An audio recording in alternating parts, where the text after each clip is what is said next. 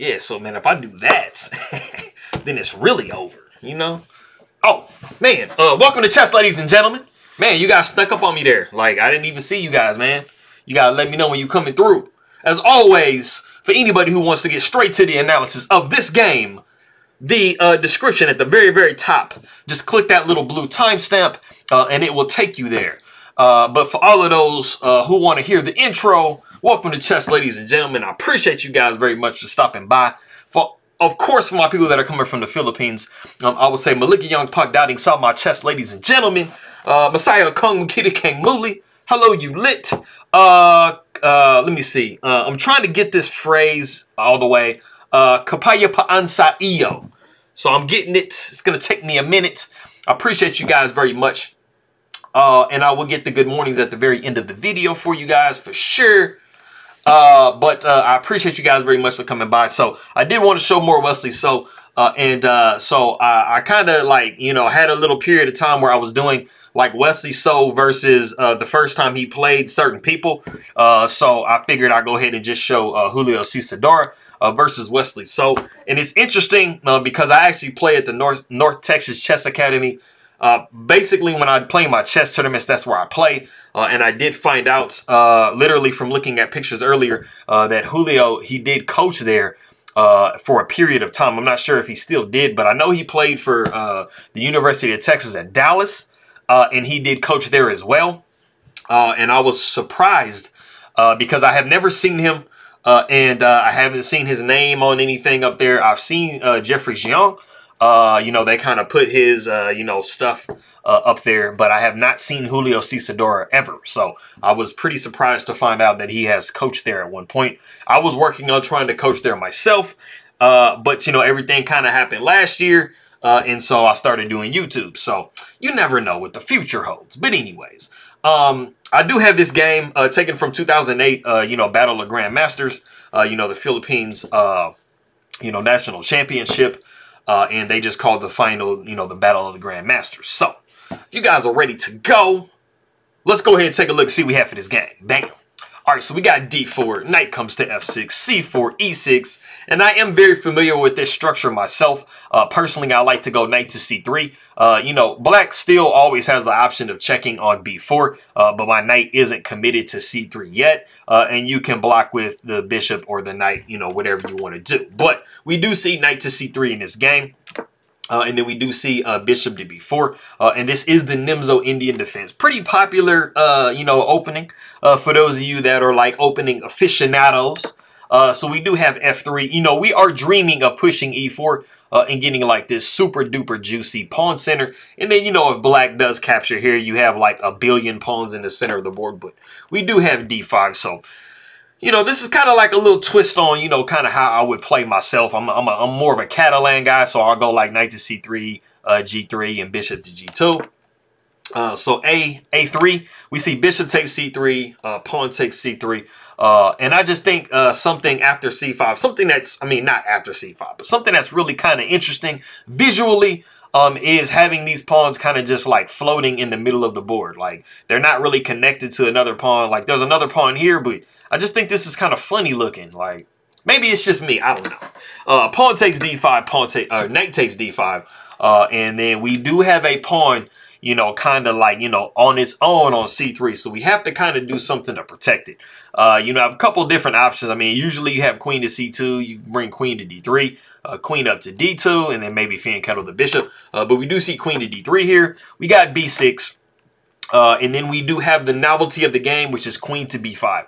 And it's not like a horrible move, but it's actually kind of a novelty for a reason. Uh, because, you know, if you guys notice, uh, you know, black is slightly ahead of white uh, as far as developing is concerned. Uh, you know, black has all of their pieces still back on the back rank. You know, uh, white does. Black has, uh, you know, already kind of gotten some of their pieces out. Uh, and you have just moved this queen a second time and you will be moving it another time ultimately. So, I mean, you know, generally, you know, you want to develop your pieces, not touch pieces multiple times out of the opening unless you have a very good reason for doing so, uh, just in general. So, we do see knight uh, to d7 blocking the check. Uh, and then the queen does come down to b2. Now, the thing I will say about queen to b5, it was a check. So it was a forcing move. So it wasn't like it just completely threw away a tempo. But uh, we do have f5. And you are trying to prevent e4 because that is what white really, really wants to do.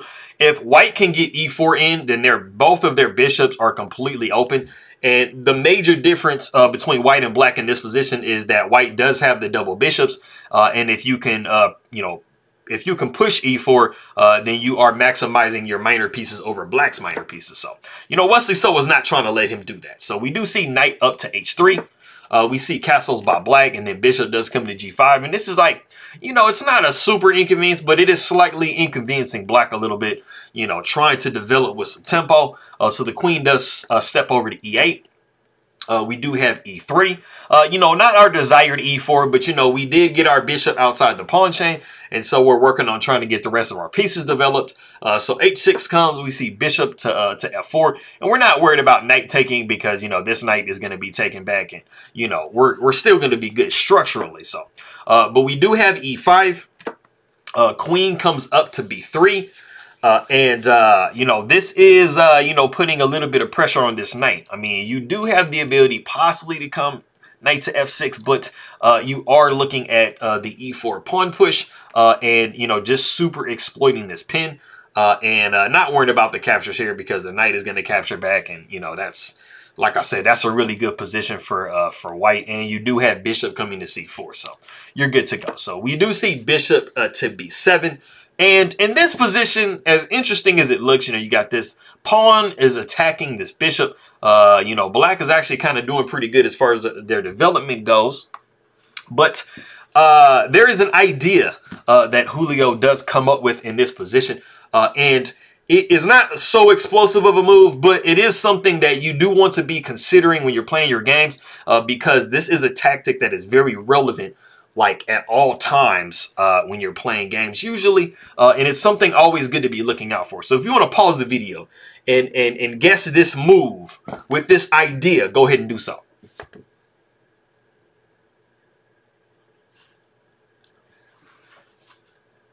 Okay, cool. So this is a deflection tactic. Uh, and it's not, like I said, it's not like it's the craziest move that you can ever play in the game. Uh, I mean, it does, black still does have a nice advantage, but uh, the idea is very relevant in a lot of different games. A lot of the times you have a piece that is defending another piece and you want that piece to like leave the defense of another piece. And a lot of the times it's a very, very crazy explosive move that comes up. But in this particular case, it's not so crazy, but the move is bishop to a6 uh, you know, with the point of trying to deflect this bishop away from the protection of this knight.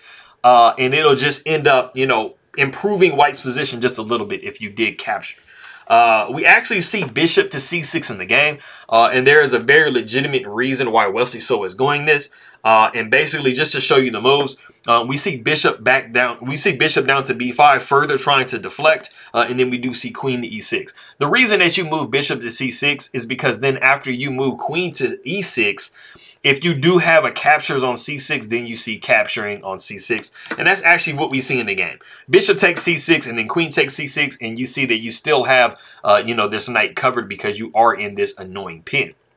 But backing up, after bishop to a6, if you did so happen to take on a6, it's not like you're going to be looking at a really, really bad position. Uh, you know, you have given white just a little bit, but you're still definitely in the driver's seat. Uh, you know, queen will be taking on d5 with check. Uh, and then cover with the queen on f7, queen taking f7, king taking f7, uh, and then pawn would be taken on e5, uh, but then you see rook a to e8, and you have won a pawn, but you're going to be giving it back because this pawn cannot be held. So, I mean, black is still doing like very legitimate in this position. So, like I said, uh, queen taking c6, uh, and then what we saw uh, was bishop taking e5. You had to kind of do something, I mean, because your bishop was attacked. So uh, we do see the really nice in-between move c4, uh, just completely cutting off uh, this threat.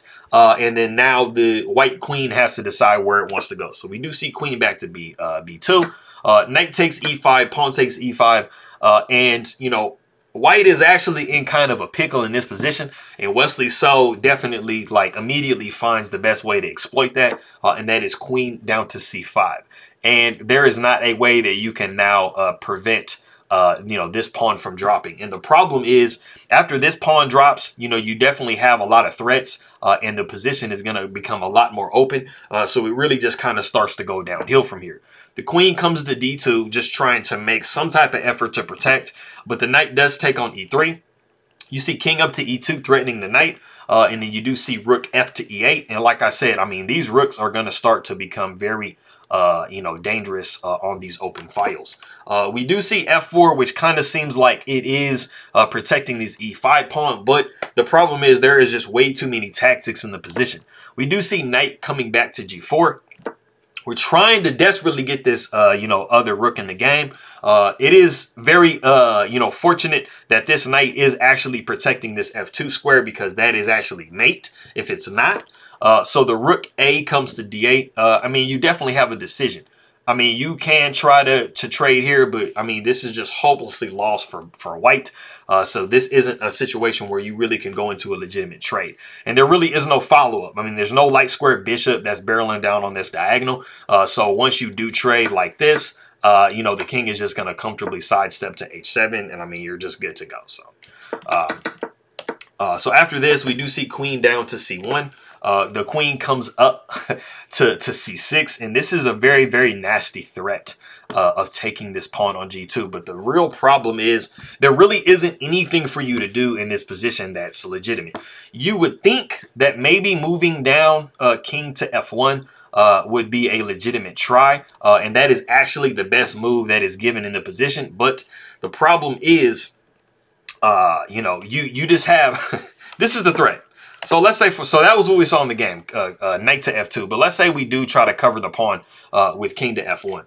The unfortunate thing of the situation is uh, you are going to be looking at rook takes d1 with check, and this is going to be forcing the queen over to the square d1, and then you just simply have a fork on e3.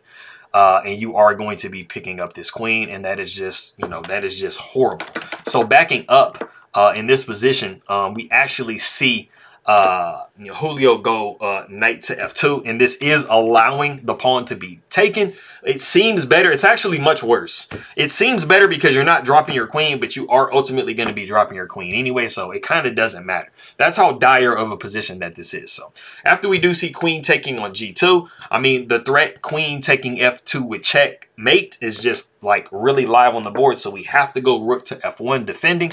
Uh, and then the knight is taking on e5. And I mean, this is just horrible. I mean, because you can do nothing and sit there and let the discover attack come and hit you. Uh, you know, you can let yourself get checked. Uh, you know, here and then a discover, uh, or you could just immediately take uh, the the knight, and that's what uh, Julio does is take the knight here on uh, e5. Rook takes e5 with check, uh, and then you have no other moves other than throwing your queen in the way. Um, so queen does come to e3, uh, protecting the check. Uh, and then we actually see rook uh, rook d to e8. So just adding pressure onto the queen, not even taking the queen immediately. So super accurate. So the queen does take on e5. Uh, the rook takes on e5 with check. That forces the king over uh, to d2. Uh, we see queen up to d5 with check. The king steps down to d1. So if white can just breathe a little bit, then they can maybe try to weasel out of the situation. But there's just way too much pressure. Uh, and then you have, uh, you know, one of the best moves in the position um, is actually rook down to e, e2. And I mean, this is just putting a rook on the seventh. And you guys are very familiar, whether you've been on the, uh, you know, uh, offensive side or the defensive side of a rook on the seventh, you know how powerfully dangerous a rook on the seventh is. Uh, and then so we do see rook over to d1. The queen comes to f3. Uh, and there's just way too many threats. I mean, there's queen taking f2. There's queen coming over here. Uh, there's queen coming up here with check, forcing the king over. Like, there's just so many different things. Uh, we see a4 because, I mean, you've pretty much gotten to a position where it doesn't really matter what you do. Uh, we see queen uh, taking on c3 with check, king side stepping over to b1. Uh, and then we do see queen to c2, and this is checkmate. Uh, so this is pretty much one of those computer moves where I mean, or situations where like the computer will literally just throw out just like the most random move that you can possibly think of. Uh, and uh, I mean, like something like H3, like, I mean, there's just nothing to do. Uh, so it really does just doesn't matter what you do at all. Like you know, it's suggesting knight to e4, but I mean that's like triply covered. So I mean that's just uh, that's just what it is. So that is the end of that game. So I appreciate you guys very much for stopping by, uh, and I will attempt these good mornings. Um, I haven't been doing them a lot more recently, so I mean I'm you know trying to make sure I remember. So uh, maayon buntag. Uh, mayad na agahan, uh, naibag na bigat, masantos ya kaboson, marhin na aga, uh, buenos dias, maayong, maayong aga, mapia, uh, man, let me see, let me just check. I have them like all the way turned down. Okay, so maayong aga, mapia na uma, okay, kapi and kapa no dios, mayapa abak, mayad na aga, I believe that is it. Mayad na aga, yes. Uh, mapia uh, agay, mapia pizza, my big abukla, marjana buntag, marian mainat, maupena aga, kasan yangan CLB, salam, assalamu alaikum, merci to you. Appreciate you guys very much, and I'm gonna try to say this without looking. Uh, kapaya, kapaya paan? Yes, kapaya paan sa'io. Okay, I'm gonna get that all the way. So, uh, wish me luck. I appreciate you guys very much, and I'll see y'all next time.